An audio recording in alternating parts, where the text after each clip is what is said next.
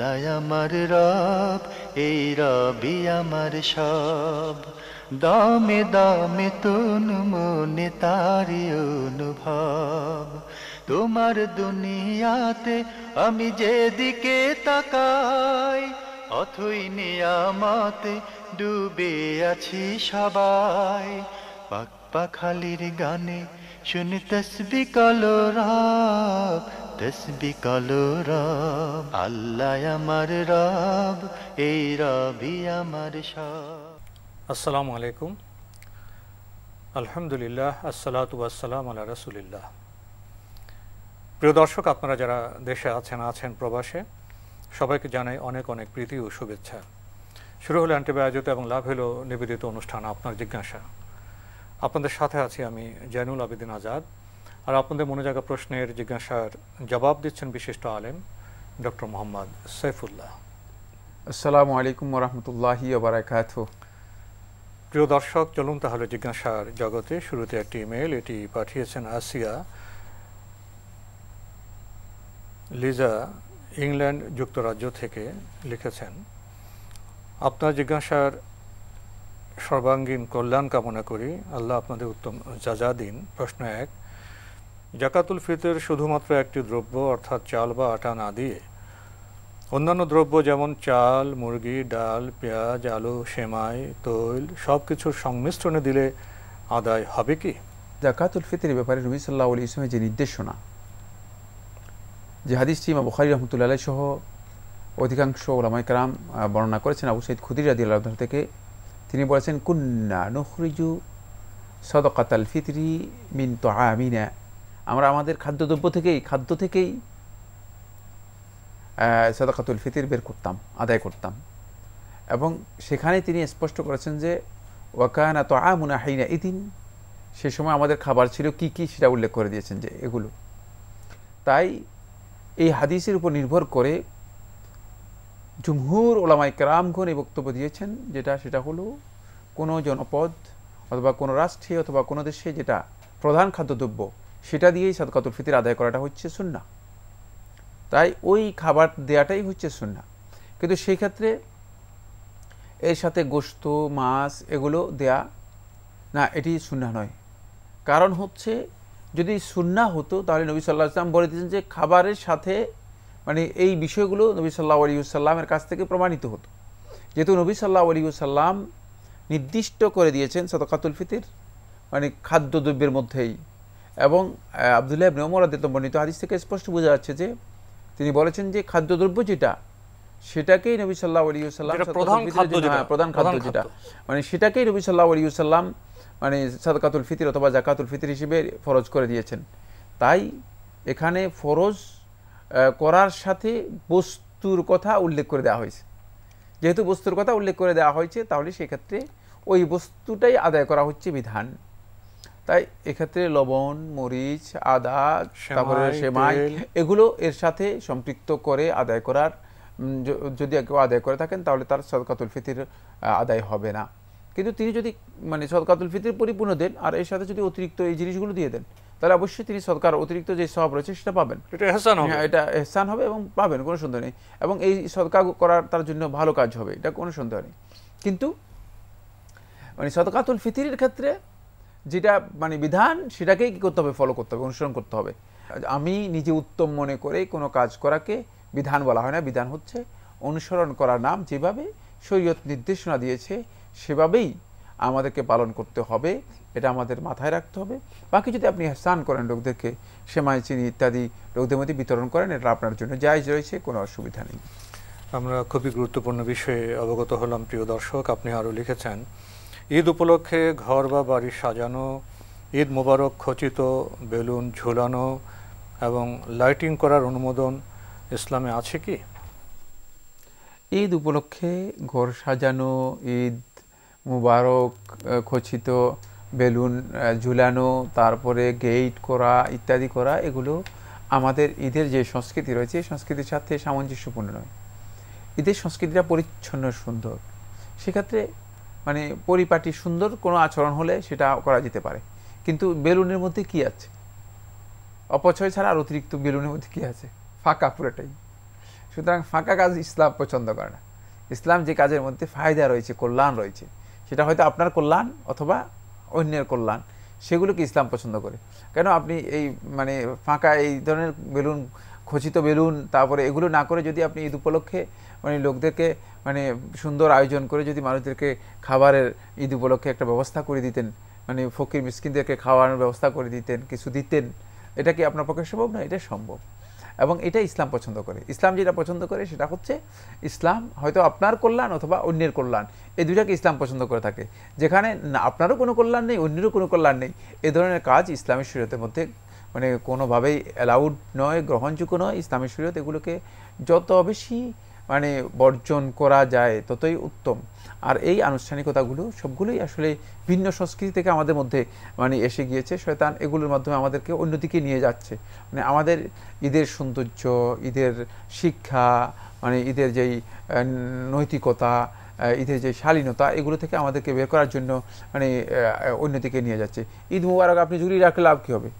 যদি ঈদ আপনার সত্যিকার আপনার অন্তর মধ্যে ঈদের যে প্রকৃত শিক্ষা রয়েছে, সেই শিক্ষা যদি আপনার অন্তর মধ্যে না আসে, যদি সেই শিক্ষা যদি মুসলিম সমাজের মধ্যে বিরাজ না করে, তাহলে মানে যতই আপনি মানে প্রত্যেকটা বাড়ির উপর যদি ঈদ মুবারক লিখে রাখেন, কী লাভ হবে? কপালের মধ্যে ঈদ মুবারক লিখে রাখলেও কোনো লাভ হবে না। মানসিক শান্তি আসবে না, ঘুম আসবে না, চিন্তা দূর হবে না, দুশ্চিন্তা থেকে বাঁচতে পারব না, হত্যা, রাহাজানি থেকে আমরা মুক্তি লাভ করতে পারব না, নিরাপত্তা আমাদের জন্য আসবে না। সুতরাং এটা খেয়াল রাখতে হবে যে ইসলাম যে দিকটাকে মানে পছন্দ করেছে, যে দিকটা ঈদের সাথে খুবই নিবিড়ভাবে সম্পৃক্ত, ঈদের অবজেক্টের সাথে যেটা আমাদের কাছে মানে দাবি করে থাকে, মিলি মানে সম্পৃক্ত এই ধরনের কাজ মানে ইসলাম এলাও করবে। অপচয়, অপ্রয়োজনীয় যেটাকে এটাকে কি বলা হয়? তাকে মানে অতিরিক্ত খরচ বেহুদা খরচ অপচয় করা। এগুলো ইসলামী শরীয়তে কোনোভাবেই অনুমোদিত নয়। আমরা জানলাম প্রিয় দর্শক আপনি আরও লিখেছেন কোনো কিছু দান করে কারও কাছে ওই দানের বিনিময়ে দোয়া চাওয়া জায়জ আছে কি? দোয়া চাওয়া জায়জ রয়েছে। কিন্তু ওই দানের বিনিময় হিসেবে ছাপবেন কেন? আপনি দান করবেন তাকে বলবেন আল্লাহর ওয়াস্তে দান করেছি। কিন্তু তাকে বলবেন যে আমার জন্য একটু দোয়া করেন। আর যাকে দান করেছেন তারও হক হয়েছে আপনার জন্য দোয়া করা আসলে। কিন্তু মন থেকে দোয়া করবেন হ্যাঁ, এটা স্বাভাবিক। হ্যাঁ, কিন্তু তারপরেও যদি আপনি তার কাছে দোয়া চান চাইতে পারেন চাওয়া জায়েজ রয়েছে কিন্তু বিনিময় হিসেবে নয়।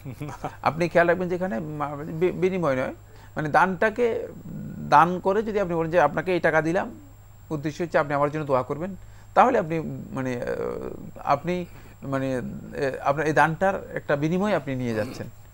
আহ, এটা আপনার জন্য জায়েজ নেই। আর এই এইভাবে এই শর্ত করে আপনি দান করবেন না। এই শর্ত করে দান করার অর্থ হচ্ছে আপনি দানটাকে মানে আল্লাহর ওয়াস্তে করতে পারেননি। বরং আপনি সুনির্দিষ্ট উদ্দেশ্যে দানটা করলেন। কিন্তু যদি আপনি দান করেন আল্লাহর ওয়াস্তে দান করেছেন। এরপর তাকে যদি অনুরোধ করেন যে ভাই আমার জন্য একটু দোয়া করেন। আল্লাহ তালার কাছে যেন আল্লাহ সুবাহন তালা আমি একটি সমস্যার মধ্যে আছি সেই সমস্যাটা দূর করে দেন। তাহলে এটা না জায়েজ নয় এটা জায়েজ হয়েছে চাইতে পারবেন আমরা জানলাম, প্রিয় দর্শক আরও লিখেছেন, কোনো বুজুর্গ অলির ওসিলায় করোনা ভাইরাস থেকে মুক্তির দোয়া করা যাবে কি? কোনো বুজুর্গ বা অলির উচিলায় করোনা ভাইরাস থেকে মুক্তি দোয়া করা যাবে কি? তো অলি কারও সিলায় দোয়া করবে? ওই বুজুর্গ কারও সিলায় দোয়া করবে? আপনি যান না অলিকে জিজ্ঞেস করেন যে, এবার আপনি কারও সিলায় দোয়াটা করবেন? যদি তিনি মানে কারও সিলায় দোয়া করে থাকেন, তিনি কারও সিলায় দোয়া করবেন? আর দোয়াটা যাবে কার কাছে? দোয়াটা তো যাবে এমন সত্তার কাছে যে সত্তা আপনারও মালিক, আমারও মালিক, সকলের মালিক, ওই অলিরও মালিক, ওই বুজুর্গেরও মালিক। এবং যে সত্তা আপনাকে মানে ওই ব্যক্তির চেয়ে বেশি চিনে, আপনার সম্পর্কে ওই অলি অলির চেয়ে বেশি জানে, আর ওই অলি সম্পর্কে আপনি যা জানেন না, সেই সত্তা এর চেয়ে বেশি জানেন। সুতরাং সেই আল্লাহ রাবুল আলমিনের কাছে আপনি দোয়া করতে তার ওসিলায় যাচ্ছেন কেন? যাওয়ার অর্থই হচ্ছে আল্লাহ রাবুল আলমিন সম্পর্কে আপনার ধারণা যথার্থ নয়। আপনার ধারণায় ভুল রয়ে গিয়েছে। আল্লাহ রাব্বুল আলমিনের শ্রেষ্ঠত্ব, মর্যাদা, ক্ষমতা আল্লাহ রাব্বুল আলমিনের বড়ত্বের বিষয়টি আপনার কাছে স্পষ্ট হয়নি। আপনি জানতে পারেননি। এই জন্য আপনার কাছে আল্লাহ রাব্বুল আলমিন সম্পর্কে ধারণা মানে ন্যারো ধারণা থাকার কারণে, ভুল ধারণা থাকার কারণে আপনি মনে করেছেন যে এই অলির কাছে যাব, এই বুজুর্গের কাছে যাব। প্রশ্নই আসে না। কারও ওসিলার প্রয়োজন নেই। আমার আল্লাহ রাব্বুল আলমিনের কাছে দোয়া করার জন্য কারও ওসিলার প্রয়োজন আমার আল্লাহ রাবুল আলমিন কোরআন কারিমের মধ্যে আপনি দেখেন, যত জায়গায় দোয়ার কথা বলেছেন, কোথাও এই কথা বলেননি যে তোমরা দোয়া করো মানে মানে অমুকের কাছে গিয়ে দোয়া করো বা অমুকের উসিলা দিয়ে দোয়া করো, কোথাও বলেননি। উদৌনি আস্তে জিব রাখুম তোমরা আমাকে ডাকো, আমি দোয়া কবুল করব। তোমরা তোমরা আমাকে ডাকো, আমি দেবো উজিবু দান যখনই আমার বান্দা আমাকে ডাকবে, আমি তার মানে দোয়ায়, তার আহ্বানে সাড়া দেব। আল্লাহ সুবাহতাল্লাহ বারবার কথা বলেছেন। সুতরাং এখানে মানে অন্য কোনো ব্যক্তিকে মাধ্যম বা অশিলা গ্রহণ করা এই কাজটি মানে এর মানে সর্বনিম্ন মানে সর্বনিম্ন এর মানে হুকুম হচ্ছে এটি বেদাত হবে, হারাম হবে। সর্বোচ্চ পর্যায়ে হচ্ছে এটা শিরকে আকবর পর্যন্ত চলে যেতে পারে। মানে এটা নির্ভর করবে যে আপনি কোন ধরনের উসিলা করেছেন তার উপর। সুতরাং কেউ এই কাজে নিজেকে লিপ্ত করবেন না। আপনি আপনার আল্লাহ রবুল আলমিনকে মানে এত নেরো কেন চিন্তা করতেছেন? এত ক্ষুদ্র মনে করতেছেন কেন? আপনি আল্লাহ রাবুল আলমীর কাছে বলতে আপনার বাধা কোথায়? আদৌ কি কোনো বাধা আছে? আল্লাহর বান্দাদের বাধা থাকার কথা নয়, কোনো বাধা নেই। আল্লাহ রব্বুল আলমীর কাছে আপনি সরাসরি বলতে পারেন এবং সরাসরি বলতেই আল্লাহ সুবাহতালা পছন্দ করেন। বান্দা যখন অত্যন্ত মিনতির সাথে সকল প্রকার অপরাধকে নিয়ে আল্লাহ রব্বুল আলমিনের কাছে বলে যে, আল্লাহ, আমি ক্ষমা গুণা করে ফেলেছি। তখন আল্লাহ রব্বুল আলমিন কী বলেন? হাদিসে কুৎসির মধ্যে এসেছে। হাদিসে কুৎসির মধ্যে এসেছে। আল্লাহ রাবুল আলমিন বলেন যে ইন্নালি আবদান। যে, আমার একটা গোলাম, আমার একটা বান্দা রয়েছে। যে বান্দা বুঝতে পেরেছে যে তার একজন রব আছে, সে গুণা করে এই স্বীকৃতি দিচ্ছে। আমার আল্লাহ রবুল আলমিন বলছে, সে এই স্বীকৃতি দিচ্ছে যে আমি গুণা করেছি, তার একজন রব আছে, সেটা বুঝতে পেরেছে। তারপরে সেই স্বীকৃতি দিচ্ছে আমি গুণা করেছি। ফাকাদ গাফার তোলাহু আমি তাকে ক্ষমা করে দিলাম। সে এই স্বীকৃতি দিয়েছে, আমিও তাকে ক্ষমা করে দিলাম। সুতরাং সেভাবেই আমাদেরকে অগ্রসর হতে হবে। এর জন্য কোনো মাধ্যমের প্রয়োজন নেই। খেয়াল রাখবেন, আমরা মাধ্যমের কারণেই আমাদের দোয়াকে আল্লাহ রাবুল আলমিন পর্যন্ত পৌঁছাতে পারি না। আল্লাহ আমার রব এই রবি আমার সব আল্লাহ আমার রব এই রবি আমার সব। আমরা বনাসিয়া যুক্তরাজ্য থেকে পাঠানো তার ইমেল পড়ছিলাম। আপনি সবশেষে লিখেছেন স্বামী জীবিত থাকাকালীন স্ত্রী যদি মারা যান আর ওই স্বামী যদি স্ত্রীর উপর সন্তুষ্ট থাকেন তাহলে ওই স্ত্রী হলো জান্নাতি। এ কথা কি সঠিক? হ্যাঁ এই ধরনের কথা সঠিক। কিন্তু এ ধরনের কথার মধ্যে কথা রয়ে গিয়েছে। মানে কিছু কথা উজ্জ্বল রয়ে কথার মধ্যে কথা রয়ে গেছে। জি কথার মধ্যে কথা রয়ে গেছে। উজ্জ্বল কথা যেটা সেটা হচ্ছে এই যদি তিনি আল্লাহ রাবুল আলমীর হকগুলো সব ঠিকঠাক মতো আদায় করে থাকেন তাহলে অবশ্যই তিনি জান্নাতি কোন সন্দেহ নেই। বাকি আল্লাহ রাবুল আলমীর হকগুলো নষ্ট করে শুধু স্বামীকে সন্তুষ্ট করলে তাহলে কিন্তু তিনি জান্নাত লাভ করতে পারবেন না। এই কথাটুকু এখানে উজ্জ্বল হয়ে গিয়েছে। আল্লাহ সুবাহ তালার হক যেগুলো আছে সেগুলোকে যদি ঠিকঠাক মতো আদায় করে থাকেন আর এরপরে যদি তিনি মানে স্বামীর সন্তুষ্টির জন্য কাজ করেন এবং স্বামীর সন্তুষ্টিতেই তার মৃত্যু হয়, তাহলে মানে সেক্ষেত্রে তার জান্নাতির বিষয়টি সঠিক বক্তব্য এবং তিনি জান্নাতি হবেন কোনো সন্দেহ নেই। কিন্তু আল্লাহর হক নষ্ট করে কোনোভাবেই তিনি জান্নাতি হতে পারবেন না। আমরা হকের বিষয়টি অবগত হলাম, প্রিয় দর্শক, আরও একটি ইমেল যিনি পাঠিয়েছেন, নাম প্রকাশে অনিচ্ছুক লিখেছেন। আমার প্রশ্ন হচ্ছে, আমি বিদেশ আসার সময় এনজিও থেকে লোন করে বিদেশে এসেছি এনজিও থেকে লোন করলে তো তারা সুদ নেয়, যেমন এক লক্ষ পঞ্চাশ হাজার টাকা লোন নিয়ে বিশ হাজার টাকা বেশি দিতে হয়েছে, সেটা তো সুদ হয়েছে। এখন বুঝতে পারছি সুদ তো অনেক বড় গুণা। এ গুণা থেকে বাঁচতে হলে এখন আমি কি করতে পারি? আমি বিশ হাজার টাকা তো সুদের কাজে সহযোগিতা করে ফেলেছি। এখন আমি যদি বিশ হাজার টাকা গরিবদের দেই, তাহলে কি শুদ্ধ হতে পারব? উত্তরটা জানাবেন। আপনি এনজিওদের টাকা পরিশোধ করে দিন। প্রথম কাজ। মানে তারা যে পাওনা আপনার কাছে আছে সেটা পরিশোধ করে দিন। দ্বিতীয় কাজ হচ্ছে আল্লাহ রাবুল আলমীর কাছে ক্ষমা প্রার্থনা করুন। তবা করুন। যে আল্লাহ, আমি একটি সুদের কাজের সাথে নিজেকে সম্পৃক্ত করে দিয়েছি, সম্পৃক্ত হয়ে গিয়েছি। আমি অনেক ক্ষেত্রে বাধ্য হয়ে গিয়েছি। আমার মানে সামর্থ্যের বাইরে ছিল, ক্ষমা চান। আল্লাহ তালার কাছে অত্যন্ত বিনয়ের সাথে তবা এবং ইস্তেকফার করুন। এটাই আপনার জন্য যথেষ্ট। এখানে বিশ হাজার টাকা আপনি অতিরিক্ত দেওয়ার কোনো প্রয়োজন নেই। কিন্তু এমনি যদি আপনি সৎকার করেন, করতে পারেন। সৎকার যদি আপনি ব্যক্তিগতভাবে করতে চান, সেটা ভিন্ন কথা। তবে মানে এই গুনাহের জন্য বিশ হাজার টাকা আপনাকে সৎকার করে দিতে হবে। না, এটি শর্ত নয় মানে এর কোনো মানে অর্থ নেই, এর কোনো অর্থ নেই। এক্ষেত্রে শুধুমাত্র আপনি আল্লাহ রবুল আলমিনের কাছে তবা করলেই আপনার জন্য যথেষ্ট হয়ে যাবে, তবে তবাটা হতে হবে সত্যিকার তবা খালেস অন্তরের সাথে মানে নিষ্ঠার সাথে, আন্তরিকতা নিয়ে পরিপূর্ণরূপে আল্লাহ তালার কাছে তবা করতে হবে। আরও একটি ইমেল পাঠিয়েছেন মোহাম্মদ শামীম পারভেজ। আপনার আগের ইমেল প্রশ্ন রয়ে গিয়েছিল, আপনি লিখেছেন, আমাদের দেশে যে সকল শরীয়ত সম্মত ইসলামী ব্যাংক আছে, সেখানে টাকা রেখে মাসিক মুনাফা গ্রহণ করা কি বৈধ? হ্যাঁ আপনি সেগুলো থেকে টাকা রেখে যদি আপনার ব্যাংকিং সিস্টেমে তারা আপনাকে যেহেতু সুদ দেয় না, মুনাফা দিয়ে থাকে, আর সিস্টেম, আপনি যদি জানেন যে এই সিস্টেমটা পরিপূর্ণরূপে সরিয়া সম্মত তাহলে এখান থেকে মুনাফা নিতে কোনো ধরনের বাধা নেই। কারণ আপনি ব্যবসায় যদি কোনো টাকা খাটান, সেখান থেকে আপনি মুনাফা নিতে পারবেন না? নিতে পারবেন, জায়েজ। সুতরাং ব্যাংকে আপনি যদি টাকা রাখেন, আর ব্যাংক যদি সেটা ব্যবসায়িক কাজে খাটিয়ে আপনাকে সেখান থেকে একটা পার্সেন্টেজ মানে লাভ দিয়ে থাকে, তাহলে সেটা গ্রহণ করা আপনার জন্য জায়েজ রয়েছে। না জায়েজ কিছুই না না জায়েজ কিছুই না। সুতরাং মানে ব্যাংক যদি আপনাকে মানে ব্যবসায় খাটিয়ে লাভ দেয়, সেটা হারাম হয়ে যাবে। আর অন্য ব্যক্তি যদি আপনার কাছ থেকে টাকা নেয় আর তিনি যদি লাভ দেন, সেটা জায়েজ হয়ে যাবে। এ ধরনের ফতোয়া যদি কেউ দিয়ে থাকেন, তিনি ভুল ফতোয়া দিচ্ছেন এবং তার অজ্ঞতার কারণেই তিনি এ ধরনের ফতোয়া দিচ্ছেন। আসলে ব্যাংকিং সিস্টেমটা মানে আমাদের অনেক ওলামাই কেরামদের কাছে এখনও অস্পষ্ট। আলেমগণ এই বিষয়গুলো সম্পর্কে স্টাডি করেন না। ফলে দেখা যায় যে তারা এগুলো সম্পর্কে না জেনে বিভিন্ন ধরনের এলোমেলো আবল তাবল বক্তব্য দিয়ে থাকেন। মানে যেখানে সুদ শব্দই নেই। মানে সুদের কোনো অবকাশই রাখা হয়নি। সেখানে আপনি এই কথা বের করারই প্রয়োজন নেই। যে মানে আমাকে আপনারা মানে কীভাবে লাভ দিচ্ছেন, এটা আপনার প্রয়োজন নেই। আপনার প্রয়োজন হচ্ছে যে ব্যাংকিং সিস্টেমে তারা টাকা দিচ্ছে, তারা বলছে যে আমরা সুদে লেনদেন করি না। আপনি তাদের এতটুকু বক্তব্যের উপর বিশ্বাস করে আপনি কি করতে পারবেন? আপনি লেনদেন করতে পারবেন। যেমন আপনি একজন লোকের সাথে ব্যবসায় মানে কন্ট্যাক্ট করেছেন চুক্তিবদ্ধ হয়েছেন। এখন সেই ব্যক্তি কি ব্যবসা করে, এটা আপনার জানার প্রয়োজন নেই। আপনি তার সাথে ব্যবসায় অংশগ্রহণ করতে পারেন। সে মানে তাকে আপনি বলবেন যে দেখেন মানে হালালভাবে উপার্জন করবেন। হালাল প্রক্রিয়া হালাল ব্যবসা করবেন। এবং সে ব্যবসা করে আপনাকে যদি সেখান থেকে কিছু মুনাফা দেয় আপনি তাকে মুনাফা গ্রহণ করার সময় কথা বলবেন ভাই এগুলো কি সুদ দিয়েছেন নাকি? না মুনাফা দিয়েছেন? কথা বলার প্রয়োজন নেই। চুক্তি তো আগে হয়ে গেছে। চুক্তি তো হয়েছে। মানে চুক্তিপত্র নির্দিষ্ট মানে একেবারে স্পষ্ট। চুক্তির মধ্যেই আপনার লেনদেনের মানে পদ্ধতি কি হবে? লেনদেন কিসের ভিত্তিতে হবে? সেগুলো সবই স্পষ্ট করা আছে। এরপরে আবার অতিরিক্ত তাকে জিজ্ঞেস করার কোনো প্রয়োজন নেই যে, ভাই, এটা কি সুদ দিলেন না কি দিলেন? এই ধরনের বক্তব্য মানে যারা দিচ্ছেন তারা আসলে মূর্খতার কারণেই ইসলাম ব্যাংকিং সম্পর্কে যাদের অজ্ঞতা রয়েছে তারা এ ধরনের বক্তব্য দিয়ে থাকেন।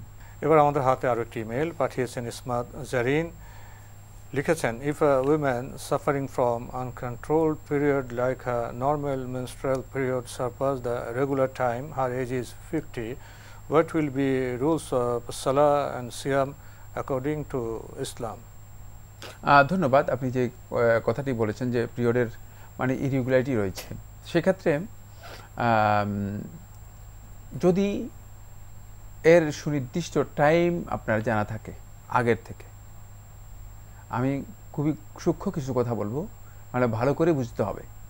মানে এটা ফেক্ষের অত্যন্ত সূক্ষ্ম একটি মাসালা যদি সুনির্দিষ্ট টাইম আগে থেকে জানা থাকে, তাহলে আপনি ওই টাইম অনুসরণ করেই ওই টাইমটুকু আপনি সলাদ থেকে বিরত থাকবেন, ওই টাইমটুকু আপনি অনুসরণ করবেন, সেটাকে পিরিয়ড হিসেবে ধরে। আর বাকি টাইম পুরাটাই আপনি সলাৎ আদায় করবেন, সিয়াম পালন করতে পারবেন, স্বাভাবিক জীবনযাপন করতে পারবেন মানে তারপরে এটাকে কয় জানি, দৈহিক সম্পর্ক যেটা, সেটাও করতে কোনো ধরনের বাধা থাকবে না। সেক্ষেত্রে সলাৎ আদায়ের ক্ষেত্রে আপনাকে অবশ্যই প্রত্যেক সলাতের জন্য উজু করতে হবে। প্রত্যেক সলাতের জন্য গোসল নয়, উজু করতে হবে। মানে উজু করে তারপরে সলাৎ আদায় করতে হবে।